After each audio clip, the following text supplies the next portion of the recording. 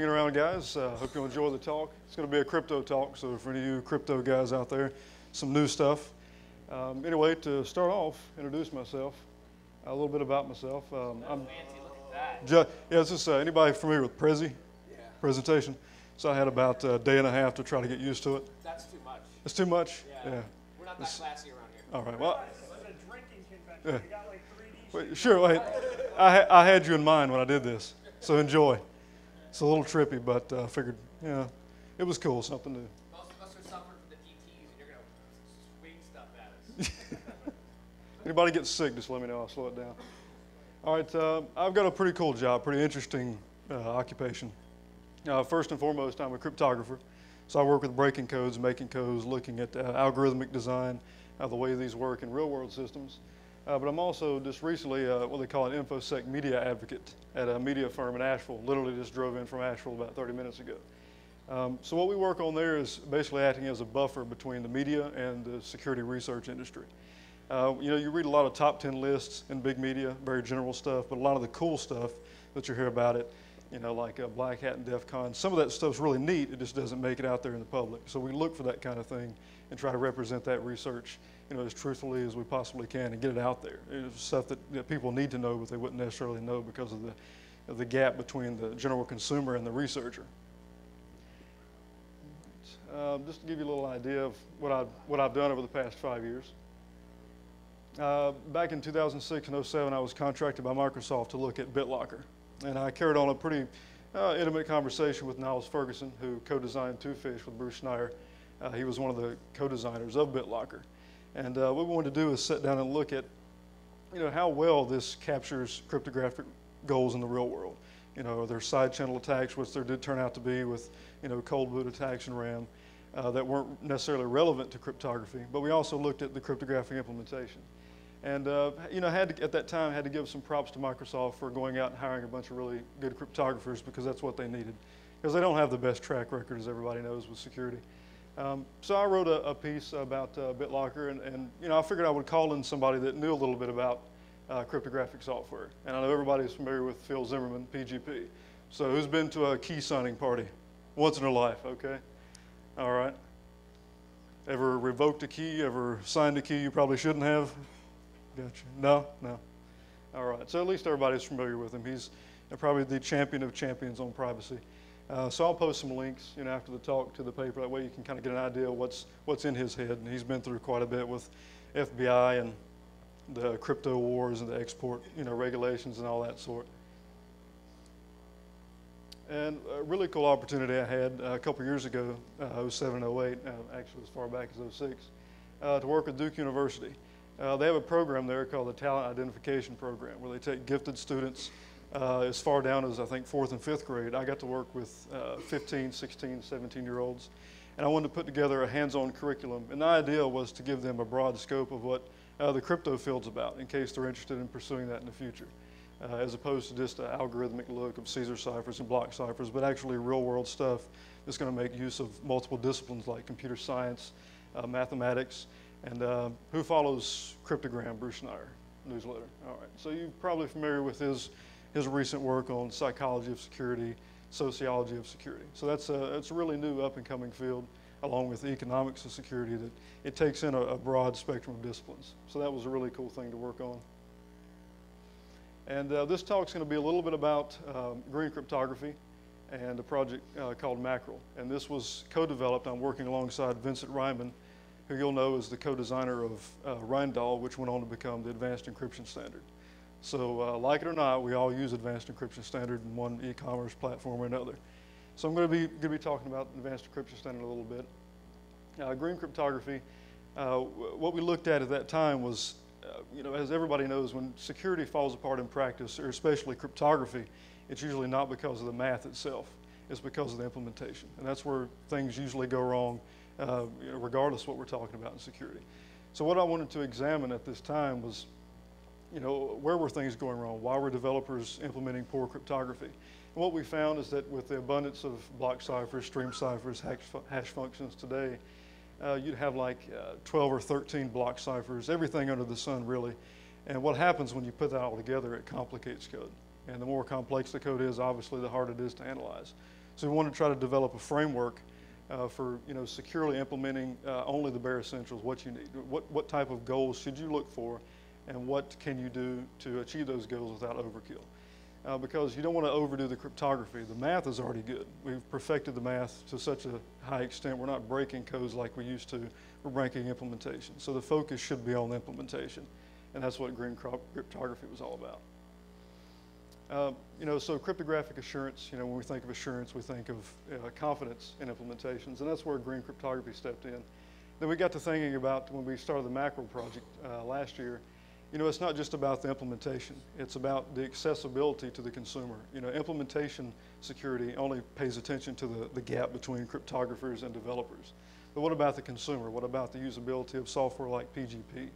So I'm going to talk a little bit about you know, accessibility problems that are just as much of a plague to security as the implementation problems. And also alignment. Um, and we're dealing with the relationship between cryptography and communication, specifically a model as big as the internet. You know, where does cryptography and security stand in a model that's so vast but wasn't built with security in mind from the forefront? Um, so all three of those things combined, you know, we're trying to build a big picture look at how developers should go about security uh, to make it you know, fruitful in practice, to really realize the theory that cryptographers set out, and also make it usable and understandable by the consumer. And uh, a special uh, you know, guest, if you will, on the paper is uh, Brian Snow, who's going to be writing the forward, uh, former uh, technical director at the NSA, Information Assurance Directorate. what's really cool about Brian is when you think of the NSA, they have this good guy, bad guy relationship with the security industry the NSA has, has the, the upper hand, really. You know, we publish everything in the open, so they have access to everything we publish, everything they publish. NSA, on the other hand, they have access to what they publish, but we don't. So they always, you know, have a little bit more to work with than we do. And, and we've never really liked that secrecy because in the security community, obviously, we're open. We're all about, you know, publishing, you know, the latest vulnerabilities, exploits. We want to beef up the field, get everybody on the same page. So what's really cool about him you know, while he doesn't give away NSA secrets, obviously, uh, he does shed some light on, on things that he learned at the NSA, things that we can learn, you know, in the consumer industry about how to build better software. So I will talk about that today. All right, so what is Mackerel?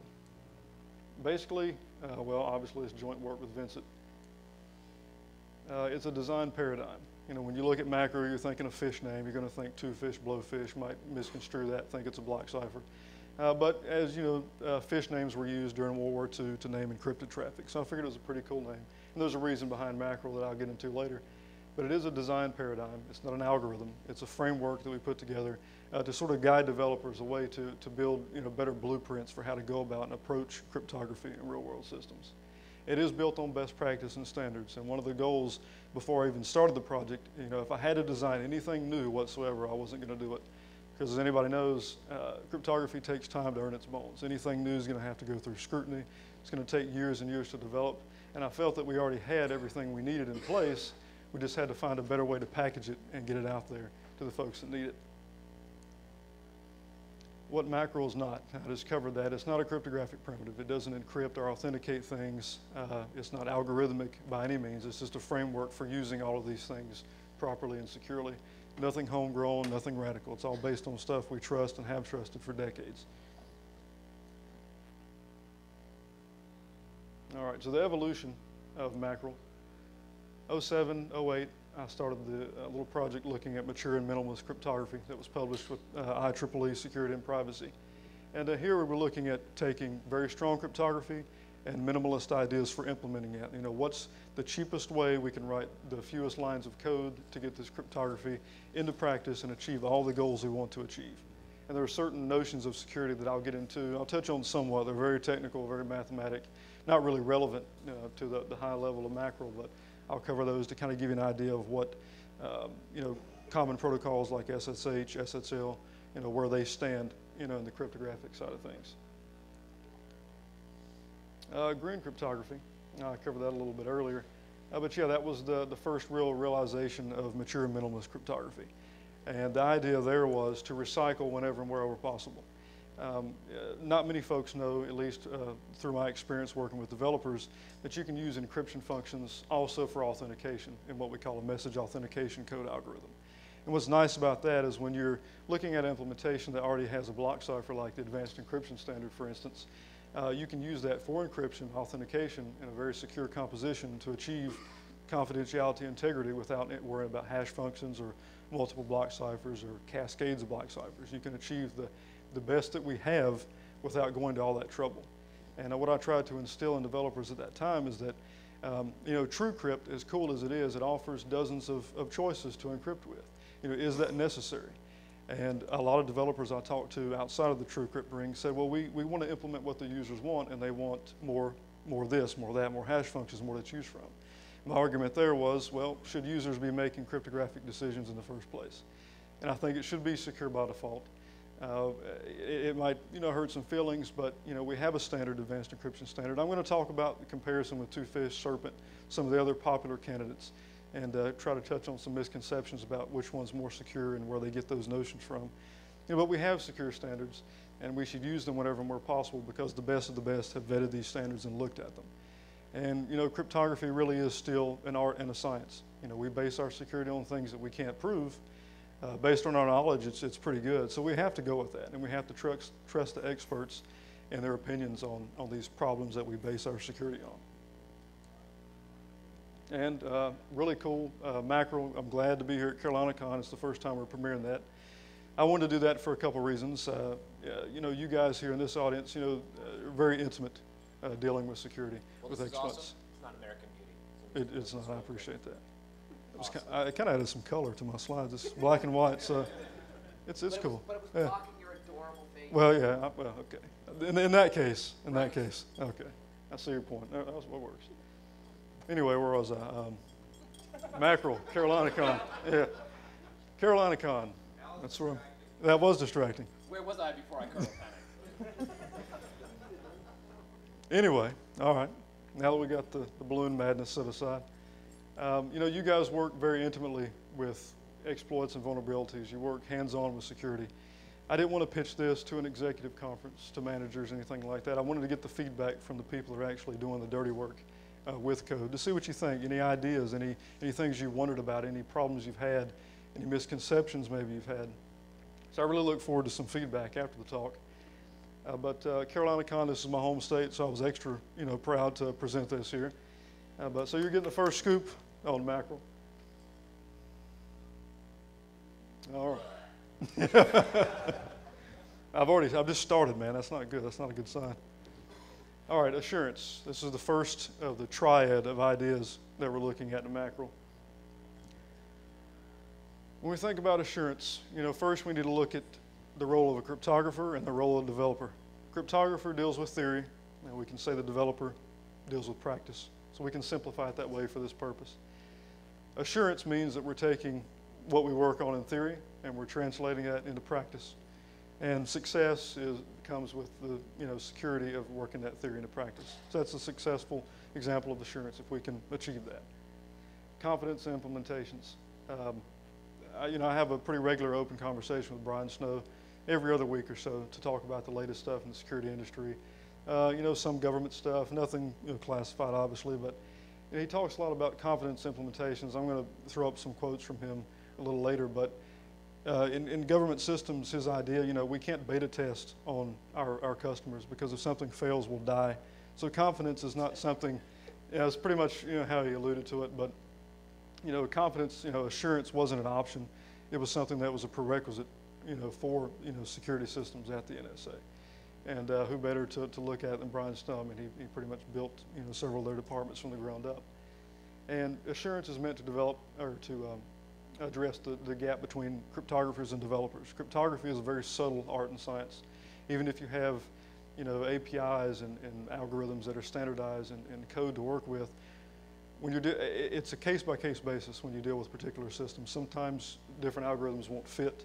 You have to go to a smaller algorithm. When you change things around, they don't always work. It's not black and white like you might think it is.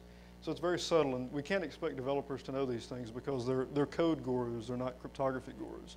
Everybody has their expertise, so it's up to cryptographers, you know, guys like me that do the research in that field to cater to the developer. And it, it's, it, they shouldn't be them, you know, kind of, you know, stabbing in the dark for it, and we blame the developer when things go wrong. It's, it's a, you know, a two-way street. All right, so yeah, everybody knows there's a lack of assurance in security. Um, unfortunately, when you think about other types of software where we test for functionality and things that work properly, you know, if this then that, we can't beta test for security. You know, I can, I mean, I could say uh, this entire presentation has been encrypted in ROT26, and uh, I did it, I did it very successfully. I mean, it, it is ROT26, but it's not very secure. It worked properly, but it, uh, what's that? Double ROT 13. There you go. That's even yeah. But uh, yeah, you, you kind of get the idea. Things can work properly, but not necessarily securely. Okay, Brian Snow from 2005. It's a paper he wrote uh, for a keynote speech called "We Need Assurance." Brian said, "I want functions and assurances in a security device. We do not beta test on the customer. If my product fails, someone might die." You know, and, and the security industry hasn't really seen the type of liability that it should have. Um, in the NSA, I can, I can only imagine what would happen if you were behind the code uh, that uh, led to someone losing their life. You know, I'm not sure what their, their policies are there, but you know, I kind of think we need to lean more towards this, this idea to assume people are going to die. You know, if Microsoft Word crashes, you know, probably not going to happen, but uh, but that that wouldn't be a bad metric to go by. It wouldn't be a bad way to look at design. Uh, to think that if your spreadsheet falls apart, you're going to lose a lung. But uh, Sure, yeah. You know, we, you know. Another quote from Brian. Uh, the software security industry today is at about the same stage as the auto industry was in the 1930s. Lots of performance, little safety. Both cars and software, the issue is really assurance. So it's, it's really neat to look at uh, in, uh, different examples of different industries, the car industry. And there's so many parallels we can draw between different you know, areas of industry and security. And I think we need to do that. It, it's time that we look at other disciplines to better security. We'd be surprised at how intertwined different sciences are when we start looking at the process for going about safety and security. Any questions so far? Say, look, you know, yes, we're at the same place they were in the thirties, the ways they were able to get around that applicable to the way, you know, I mean, you don't wanna like go heavy handed and start putting Sure. regulations on something. Oh, of course. You know, I, I think with uh, with cryptography, it's tricky. You've got you've got um, you know when you look at standards, you've got corporate interest. You've got so many other things that come into play between the independent researcher field and governments and militaries and corporations. It, it's going to take a lot of work, and, and anything in cryptography takes a lot of time to mature. It takes a lot of time sitting around a table discussing ideas. Everybody's got their hand in something. So I think in that case, you're absolutely right. And we can't we can't draw directly from those things. We can't look at exactly what they did and expect it to translate over. And some things may not work at all. I mean, that'd be like saying everybody who access the internet, you just have a driver's license, or, you know, internet driver's license. Sure, exactly. So I mean, you know, obviously things don't translate, uh, you know, completely. I think it's worth taking a look at seeing, you know, what does. And it, it's fun for topic anyway. All right, uh, the cryptographer developer gap. And as I said earlier, uh, cryptography is very subtle. Uh, for example, CBC mode. It's a very strong mode. It's, it's secure and chosen plain text attack model. It's probably the most widely used block cipher mode. Everybody's familiar with it, probably used it at one time or another. And they may think in a real world system, if they encrypt something with CBC, that you're going to get confidentiality. And it's not always the case, especially when you're dealing with network traffic. Uh, Steve Bellovin, uh, uh, you know, big time security guru, uh, really a champion in the field. He demonstrated, you know, early 90s, mid 90s attacks on IPsec, you know, where about, um, adversaries were able to read encrypted traffic by exploiting the issue that authentication wasn't applied properly. So I'm going to talk a little bit more about encryption authentication. Authentication is that forgotten about element that's probably even more important in some cases than encryption because encryption can fall apart completely without it. So things like that we can expect developers to know because it's very cryptographic. It, it goes to deep level math, computer science about the way you, you know, forge messages, the way you decrypt messages. So this is the kind of thing we need to get out to developers. A quote uh, from that same paper, it's quite clear that encryption without integrity checking is all but useless. We strongly urge all systems uh, to use the two options. Really strong quote from 96. Uh, lived in Brazil for about a year, and while I was there, I did a project, uh, mostly American and Canadian companies, uh, developers of cryptographic software. And what I did is I looked at small independent uh, companies where you could tell it was a one-man show. This guy developed games, he developed, you know, calendars, and he just happened to like cryptography, so he threw together a little cryptography app and charged $9.95 for it. Then I went to the mid-level guys who actually had a nice website. They had a suite of cryptographic products. You know, they used standards, lots of buzzwords. And then I went to the big guys like PGP. You know, and I asked them questions about encryption authentication. I said, you know, this, this isn't mentioned on your site. You know, you don't mention anything about authentication, but you claim you know, to achieve integrity. Uh, I would say a good 95% of the response I got back was that no, we either do not know what a MAC algorithm is for message authentication, um, there hasn't been a demand for it. Uh, we think our implementation of encryption only is serving that purpose. There were lots of different answers, and some didn't respond at all. Uh, but you know, this was 1996. I did this little study a couple years ago, and out of about 40, 45 to 50 people that I interviewed, different companies from small to large, from one man to, to big corporations, only the biggest and the best of the corporations that actually had the money to go out and hire good security people, good professionals, good cryptographers, even had a clue what I was talking about, let alone implemented things properly. So there is definitely a gap. And there's no, I mean, you, you think about, you know, for example, if I wanted to practice medicine today, I'd have to go through a whole a scheme of things to practice medicine. I couldn't open up a clinic on the, the side of the street out here and start offering, you know, medical advice and things of that sort. But in cryptography online, anybody that has a piece of code can develop software, can sell it. They can use all the buzzwords. And, and why not use it when it's using military grade cryptography and one million bit keys? And, you know, the NSA cried when we released this, you know, buzzwords like that.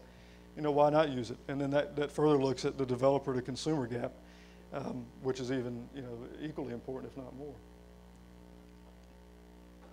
All right, uh, touch on green cryptography, which is it, it's an extension of the assurance. Green cryptography aims to simplify the implementation process for developers and simplify analysis for the implementation itself. Uh, the, the idea here is obvious. We want to make things as easy as possible for the developer to understand, you know, to interface with the code, to understand what cryptography they need and how to go about it. You know, no hidden, you know, hidden things along the way. And uh, because implementation is where things usually go wrong, we wanted to simplify the analysis implementation as much as possible. You know, cryptography, it, it's great stuff, but if implementation is faulty, you can get around the cryptography. So that's really where the focus should be.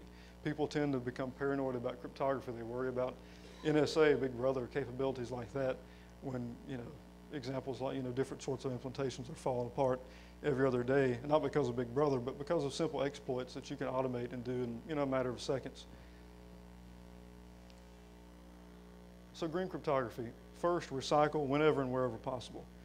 We looked at encryption, authentication. When you think of integrity checking, you might think of a hash function. And hash functions are good, there's no problem using it if you use a standard. But we wanted to try to take a step further. Can we get by with one primitive? So we looked at the advanced encryption standard maybe a little biased since I was working with Vincent Rijmen on this project, the co-developer of the AES. But uh, you know, I figured it was it was a standard. People were familiar with it, so we would go with it. And we wanted to make sure. you're taking that too? Oh, yeah, just for a second. okay. Leave, leave me. Just till it's empty. Okay. Leave me. Leave me a cup at least. You wanted to come. I want to. Hey, Uh, just three half, one cup. pass. No. No. I'm cool. I'm cool. Delicious, I promise. Yeah. All right. So uh, recycle.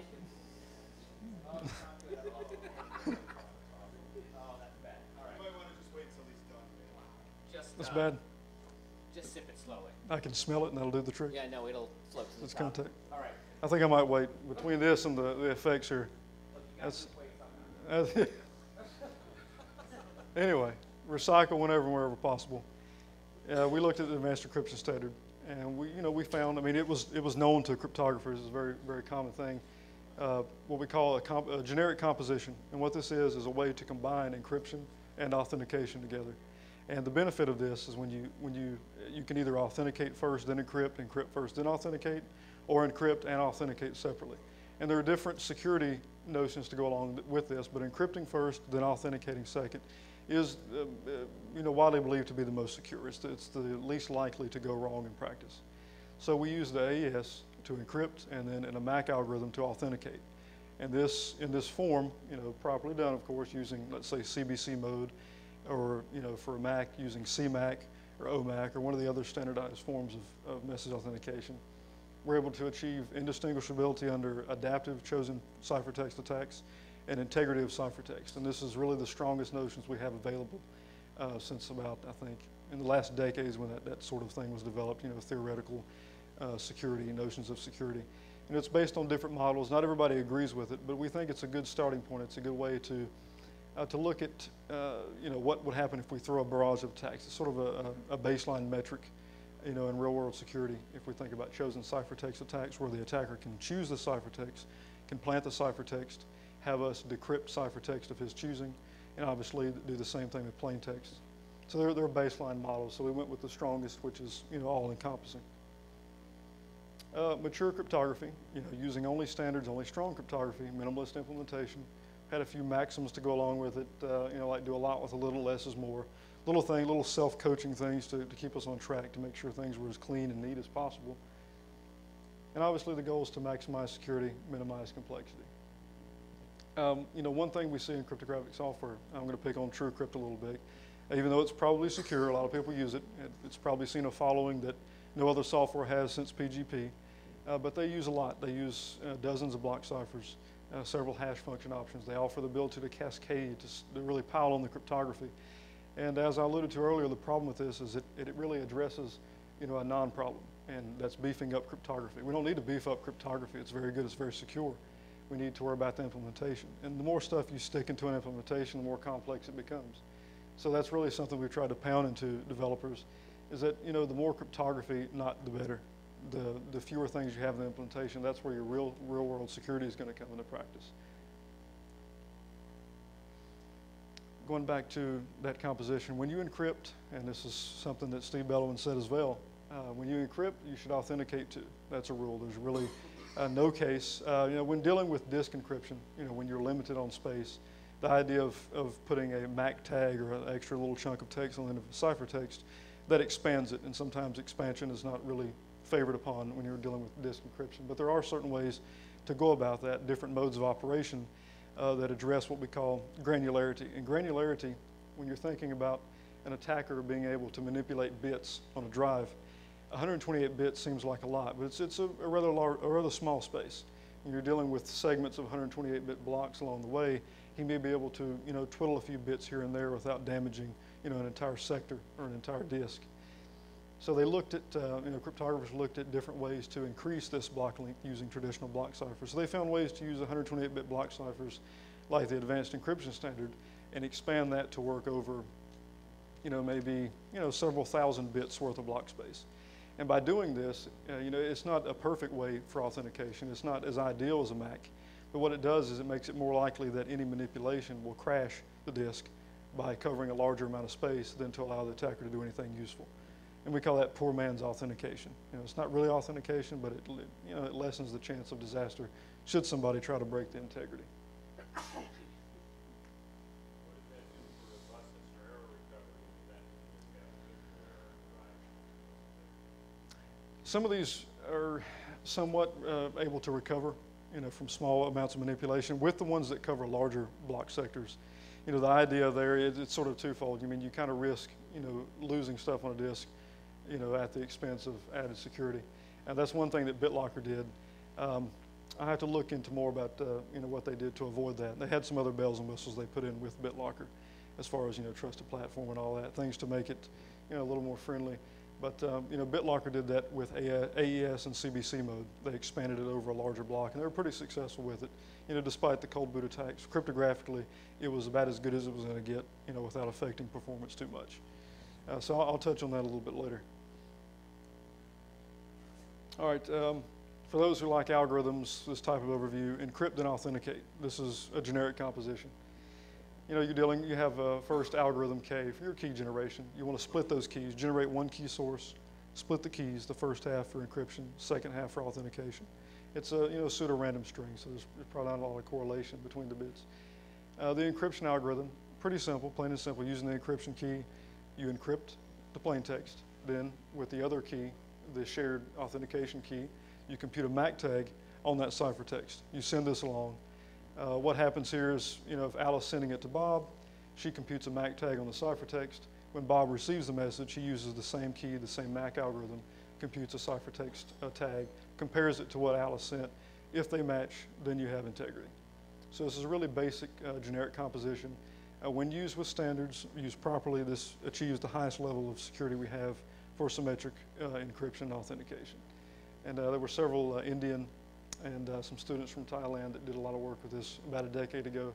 And they're really the only ones working on it, but they're, they're super smart. and they, they work hand in hand with the cryptographic, you know, the theoretical side of security. So it's really, it really is a trusted generic composition. Uh, since it deals with things like um, provable security, that's really one of those words in, in cryptography. It's, it's a misnomer. You know, we really can't prove security the way many people might think 100% of the time. But we can prove that if we can break A, then we can also break B. So when we look at low-level primitives, things like, you know, a block cipher and something higher level like a mode of operation, CBC, that uses that block cipher, you know, if we can break CBC using this attack, then we can also break the AES using this attack. So that's really what they, they go about with models like this for, you know, provable security. We can prove that if this breaks, then that's going to break too. It's not 100%, but it's about as good as we can get. And finally, for the green cryptography side, you know, we must consider simplicity and security as mutually beneficial, you know, parts of system design. Because security is not just about the technology like cryptography that's going into the implementation, it's just as much about the implementation itself. Because we're not dealing with theory. If we're dealing with theory only, you know, cryptography uh, theorists have it in a really good position. They can pick and choose their attackers, they can pick and choose their models. Things always work great in theory. But dealing with practice, practice, it's an uphill battle. Things work against you in practice in real world models. So both of these things have to work in tandem. Um, Peter Gutmann, I think most of you should probably uh, know of him from 35 pass, you know, disk wipe method uh, back in the day. Uh, he's from New Zealand, a really hardcore security guy. Um, I used to have regular conversations with him. He proposed a, a security paradigm of sorts. You know, there is only one way, and that is secure, and it's also the easiest way too. Um, not really an easy thing to do in practice since it, it, involves multiple disciplines, as I'll allude to now. You know, you're dealing with with the um, the consumer, the the user interface. You're dealing with like human-computer interaction, which in and of itself has nothing to do with security, but they look at how we interface as humans with different things with technology. So it's important that we, we reach out to these other communities to look at how to design security and make it easy to use. All right, now that I got assurance out of the way, any questions about assurance, green cryptography? Good. All right, accessibility. Uh, this was really the start of Mackerel. Um, you know, we, we looked at the assurance first, implementation security. We realized that was only the start. It only took care of the, the relationship between cryptographers and developers. With accessibility, the implementation actually has to be usable. Um, Alma Whitten, who's a researcher now with Google, she did a study back in, uh, I think it was late 90s, 1999. It was called Why Johnny Can Encrypt. It was a usability study of PGP. And she found that even though this was the first time, it was a really, you know, PGP was a great thing. It was the first time we had an interface for, for really strong cryptography that you know, 90% of her search studies uh, either exported their secret key and sent it to somebody, and it took them 90 minutes to do that, or they just couldn't generate public keys at all. And a very select few people, usually undergraduate students, people that, that were somewhat tech savvy, you know, with those, those interfaces of the day, were able to, to find their way through it. But it still took, you know, a considerable amount of time, a, a, a period of time that people are not going to wait for today. You know, and uh, with Mackerel, we thought about, you know, tactile and palatable concepts. Security should feel good, it should taste good, you know, for lack of better terms. Um, you know, when dealing with cryptography, we have to look at ways to not focus on encryption, authentication. You know, if you ask your grandmother what encryption is, she's probably not going to know. But uh, if you ask her what confidentiality is, well, she's lived her whole life and she's developed trust models with different people. So she knows what confidentiality is, you know, what it's not. So she can relate to concepts like that. And these are the types of everyday consumers that are actually going to be using, you know, secure software.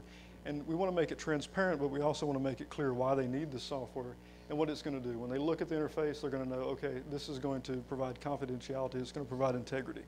They, they need not worry about, you know, advanced encryption standard authentication, this, you know, block cipher this. You know, there's some unfortunate uh, certainties for us as developers. Security is usually secondary. Most people, when they sit down to a computer, they're not thinking about hardening their machine. Now, that may be very untrue for the people in this room. You know, as security researchers, that might be the first thing they think about. But what are we going to do when you sit down on a computer? World of Warcraft, maybe. Check email. Some other things I probably shouldn't mention. But, uh, you know, the first thing is usually not security. Uh, inconvenience trumps security every time. And that's one of the things I talked about with, with Niels Ferguson at Microsoft when they were developing BitLocker. He said, you know, we could have gone, you know, above and beyond with the cryptography. We could have made things as ideal as possible, but it was going to slow down the process. And with an interface as ubiquitous as Windows, and given the users that use Windows on a regular basis, they don't really give a lot of time, you know, when they're when they're working with different applications. So he said it's going to slow things down to such a point that users are just going to forget about the cryptography. They're not going to worry about disk encryption because of the lag. It's going to slow down, you know, disk uh, disk time, you know, reading and writing and things of that sort. So it, it probably always will be true. Uh, we're, in any design where cryptography is not there from the very beginning, security is always going to lose to convenience. And obviously, if it's difficult to use, users not going to have any motivation. You know, they're going to forget security altogether. And Alma Whitten, who's done uh, the bulk of the early research in the usability of privacy, she said secure software is usable if people that are expected to use it are reliably aware of the security tasks they need to perform. They're able to figure out how successfully to perform those, those tasks. Uh, they don't need to make dangerous errors and they need to be sufficiently comfortable with the interface to continue using it. And these were, you know, early principles that she set out to try to correct PGP.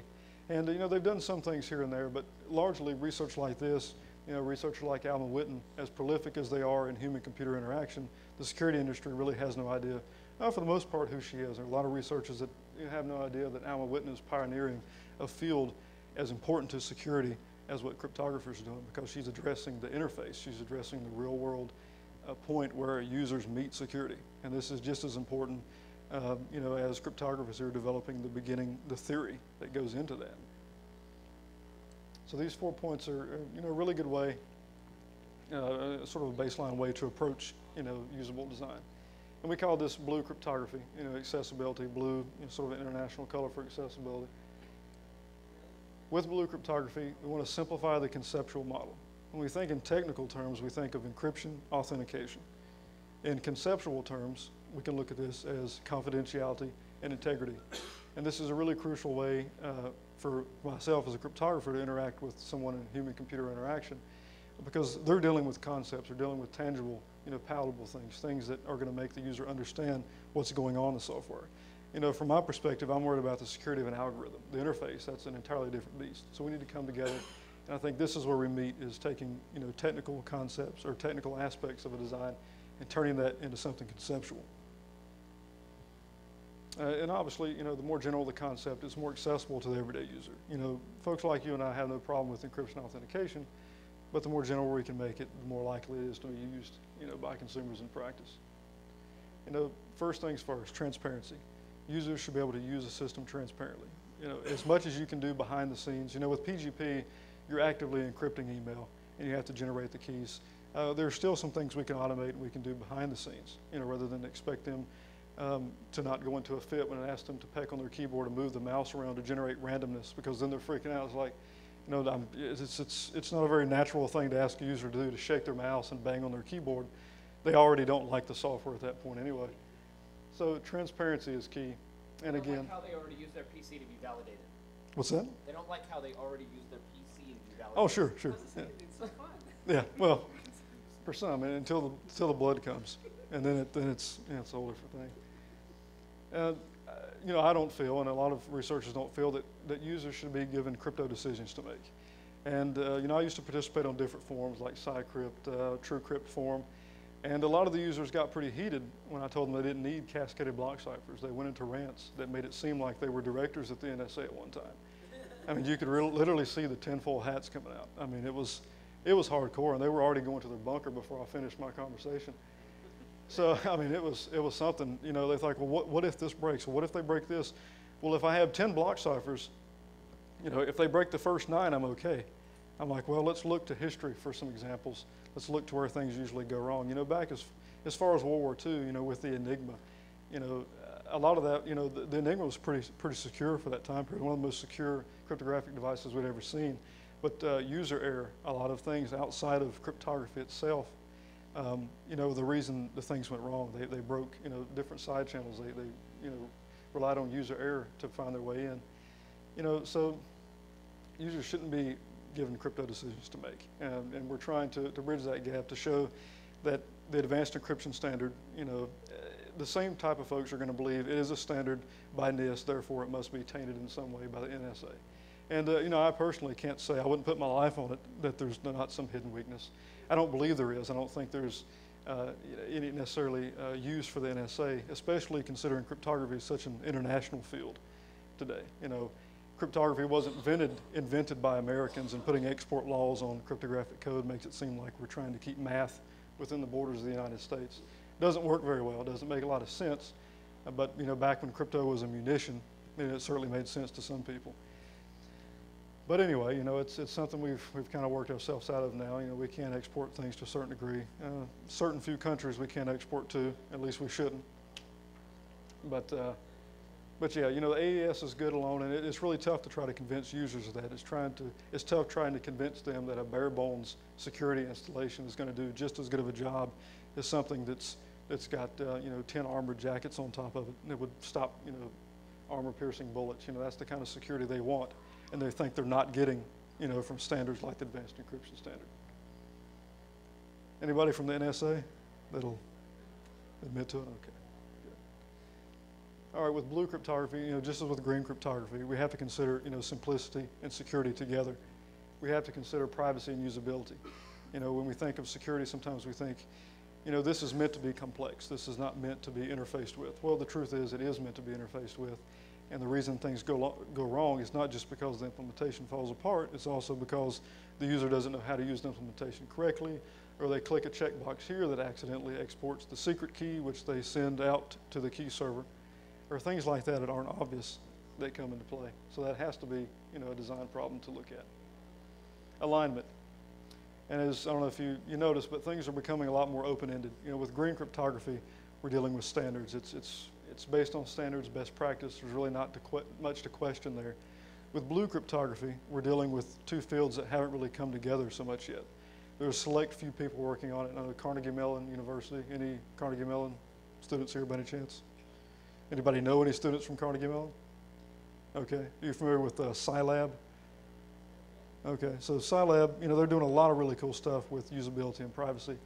But what's alarming about that is that you have one university, and almost every time you search for things in this domain, it's bringing up Carnegie Mellon. And you'd kind of like to see some other people pitching in.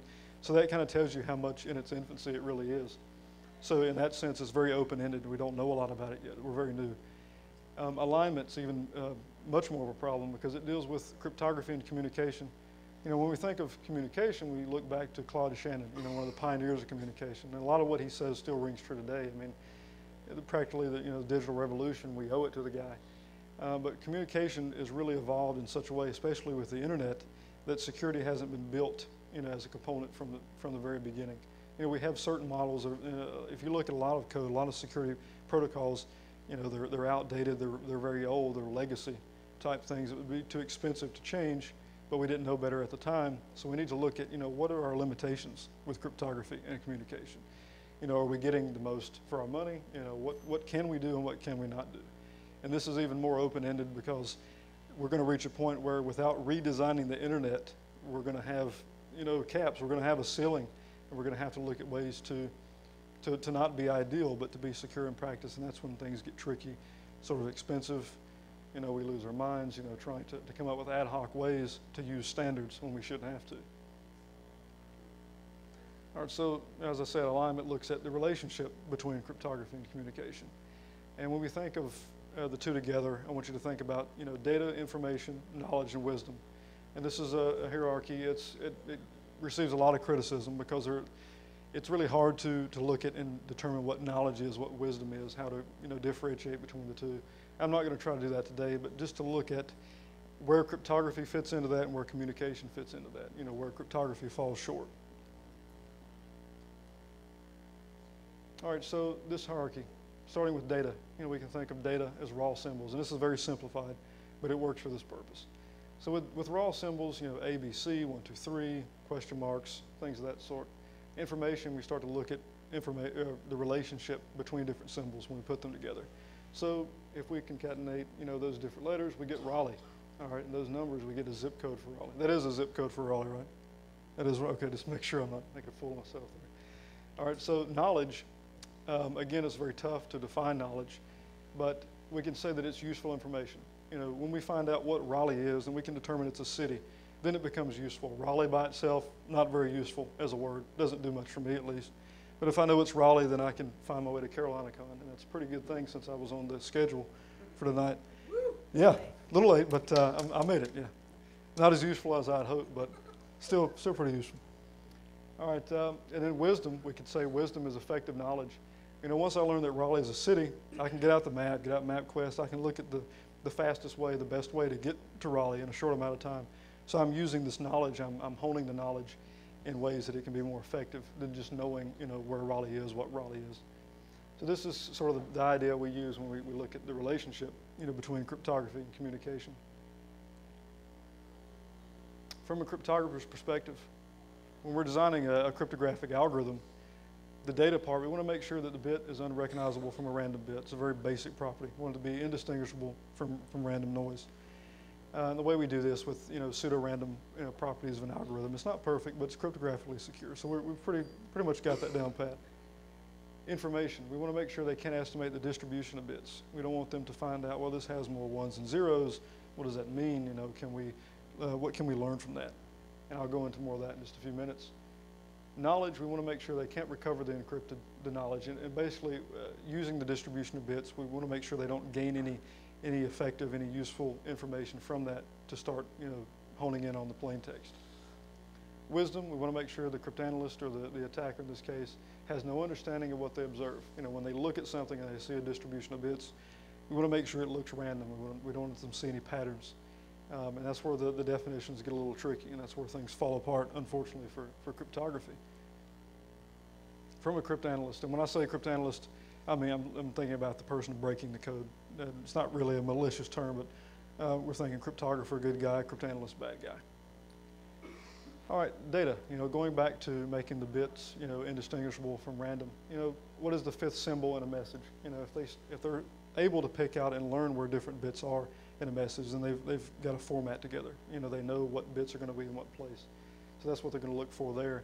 Uh, information. Are there, there, more ones and zeros in this message?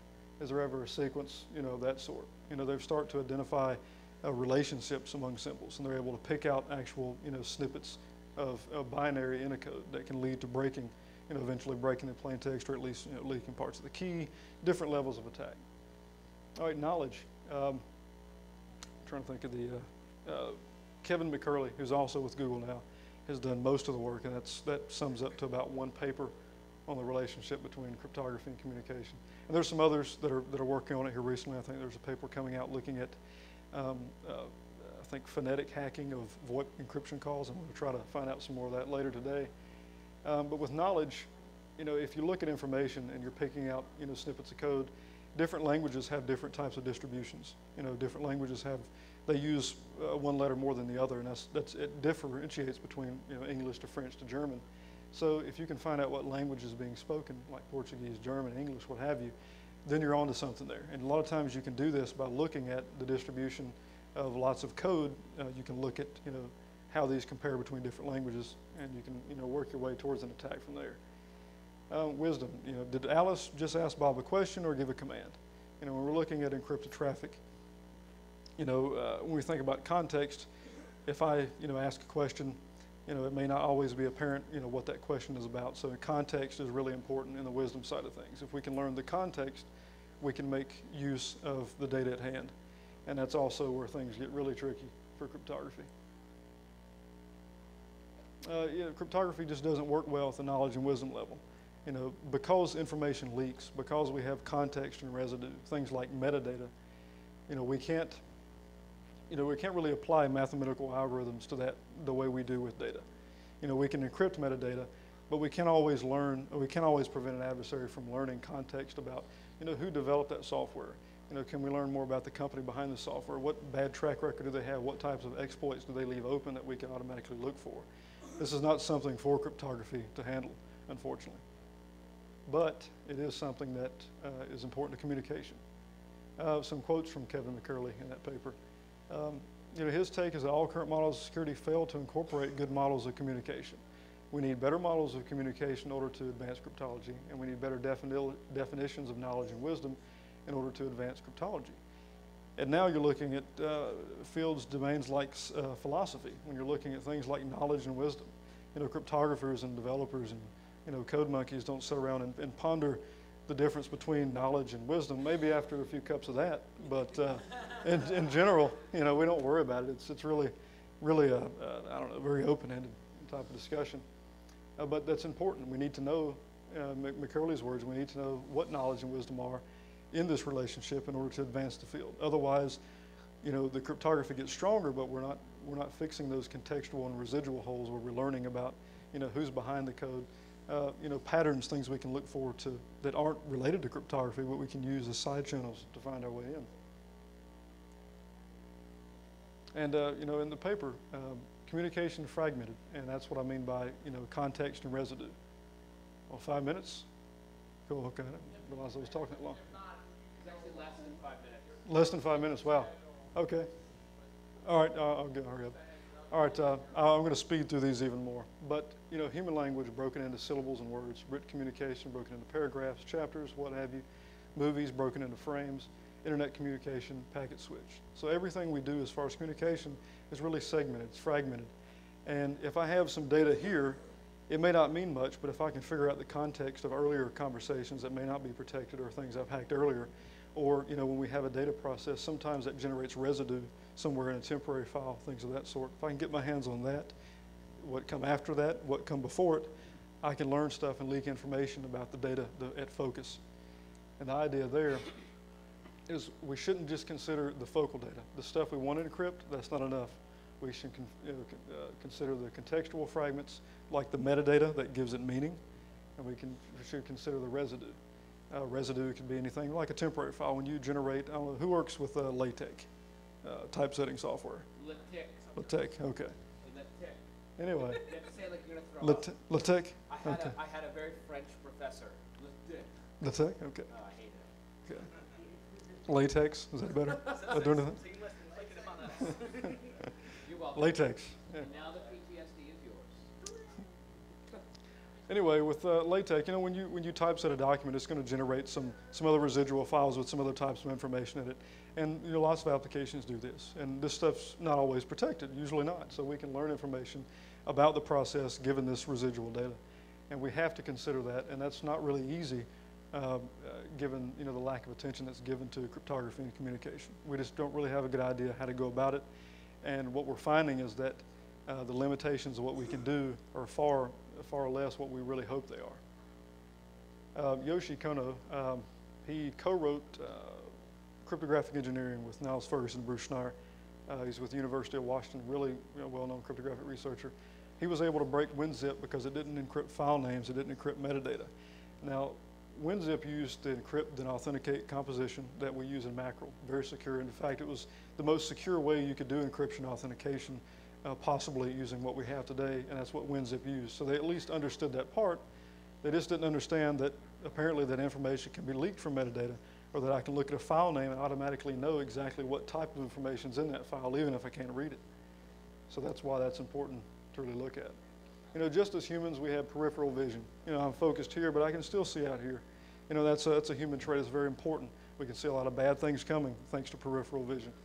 So I think with security, it, pays designers to use that same type of peripheral vision when they're looking at data. Also consider, you know, what's in and around data. All right, obviously the alignment should be, should be considered. And uh, kind of close out here, uh, let's see, I don't have, how much time do I have for questions? Two minutes. Two minutes for questions? Okay, my apologies. All right, and what we found that was really beautiful about Mackerel, you know, we were doing something new. We were packaging well-known stuff in a way that was new, a way that was more accessible. But looking back at the Shannon Weaver model of communication, they laid out three things, technical, semantic, effectiveness. How to accurately communicate a message, technical problem, that aligned perfectly with assurance. How to accurately does our language convey the meaning we want and we intend? That's semantic, that deals with accessibility. In alignment, obviously, you know, how effective is that communication? So, you know, what we're finding is things, th- things are so intertwined. It goes, you know, back 50, 60 years to basic principles that we've already known. and We just haven't learned how to put them together. And I think that's, that was really the, the most crucial part of this, this whole project is to see that we were on the right track. Our, our fundamentals were what they have been all along. Uh, we just didn't realize, you know, that we needed to change the way we, we you know, allow accessibility for it. All right, so got a couple minutes. This is a sort of like a family tree. I don't know if you can actually read the text on it, but of things that are recycled from the advanced encryption standard. And you might be able to see uh, like whirlpool hash function, uh, fish, things like that. It's just to show how widely components that went into advanced encryption standard are recycled. And what's really important about that is to show that uh, for the naysayers of the AES, you know, a lot of the other uh, prime, you know, cryptographic primitives use a lot of the same techniques. So it's nothing foreign, it's nothing that we should necessarily be worried about because it's based on, you know, decades of, of secure components. And I'll have these available to, to download later so you can go through them. This is the same type of thing for the, the SHA-3 hash function candidates. Uh, the AES S-box, uh, the actual AES round. Know, so you got a, a huge chunk of the hash function candidates are pulling directly from the advanced encryption standard. So that, that just shows the confidence that researchers have worldwide. And I'll skip these. All right, uh, okay. Any questions for the one minute? The, the metro, is that, uh, is that covered by any sort of licensing or is it? It's not. So it's, And- it's like CCM. Like CCM? It was, it's, it's open to the public, you can. Oh, okay, I was thinking you're talking about the mode of operation, No, no, no. CCM, which is not, but I, yeah, I get you. Yeah, yeah, it is. And it's based on uh, standards, best practice. So it's based on things that are already, you know, free of any royalties, free of any license. Are you gonna be pursuing like ISO certification or something for it, or, or, uh, You know, I don't know. I think it's still very early. I mean, because of how open-ended the accessibility and the alignment factors are, you know, we're going to have to reach out to these departments and really boost that research first before we can really get the attention of groups, government groups. are you submitting implementations to various, uh, Unix distributions like, like Linux kernel FreeBSD? Haven't yet. We're just we're just finishing this research up, but uh, it's something to definitely consider. Please, Maybe we can chat about it later and see if you got any good ideas. good stuff, yeah. All right. All right.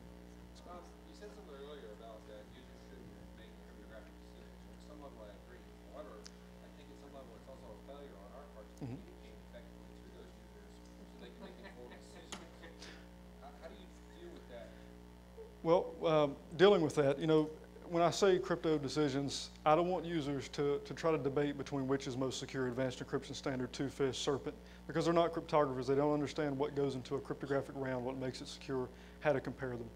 Um, dealing with concepts, however, confidentiality, integrity, if we can find a better way to communicate exactly what the cryptography is doing without actually expecting them to know what the cryptography is or to understand what key generation is or what prime numbers are. You know, it is important. It is a failure on our part not to communicate, you know, what's going on. I just think maybe we're trying to communicate the wrong things and that's getting lost up in the interface. Does that kind of answer give you want to go for? All right. Any other questions? What we got?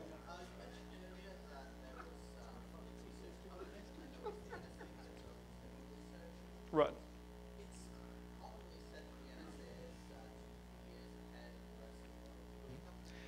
I'm glad you brought that up. In a discussion at, um, actually at RSA conference, and that's where Brian Snow, I'll, I'll give you a link to that video. Uh, he got into a bickering match with Ron Rivest, Adi Shamir, a lot of the big cryptographers about what the cryptog- what the NSA does and does not know. He said that he believes the NSA still has the upper hand on certain types of research like nuclear, you know, missile security, command and defense, things like that that, that wouldn't necessarily concern the everyday person checking their email. But he feels that uh, as far as cryptography goes, we're pretty much at a, at a similar page, progressing very slowly because the field is very mature. He said most of the big things, as far as he as he is aware, and he was in the NSA for decades. He says, you know, the, the, the public industry is caught up with NSA.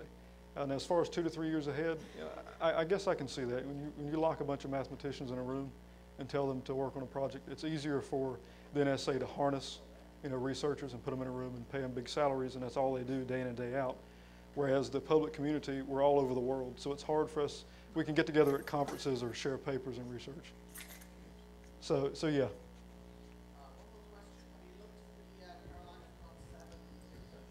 Uh, just now I did. Okay. I have not. That's, that's, It's a little, it's a little racist. it's, I'm gonna, uh, uh, what's that? It is not a Confederate flag. Uh, so I'm gonna, I'm gonna give a, okay. Sure. I have I have Okay. given Gmark an unnecessary amount of shit for this for this badge. So, Yes. thank you for being a good sport. My question for you is, if you were to assign a probability and you solved that before the end of the conference, what probability would you assign? Uh, The fact that he missed G-Mark's talk was, was a lot of good. yeah. Well, uh, was it what, what was the name of your talk? Tales from the crypto. Tales from the crypto. I did watch. Uh, I'm not sure it was. Sure as hell didn't watch the video, because he, he ain't uploaded. Uh, I, well, I watched, So I watched a past video in, the same In fact, all that tittering that was going on, we're like, Kerbob, upload the video. It's like, no, I clicked format instead. Yeah, I'm not going to disclose kidding. any probabilities yet. I'm going to have a few cups of that stuff and get back to you. That So I have is- one up here. That is rape. I'm getting a contact. Uh, That stuff is Buzz. rape juice. it look, it, it's like uh, when a water main breaks and you stick a cup under the tap. That's what it looks like. Let me let me tell you, I've It's had like three glasses of this, and I'm like, not yet. You're ready for hacker trivia now. I'm ready for hacker trivia. So um, let's wow, let's let's give Justin a hand. It's really hard to be the last talk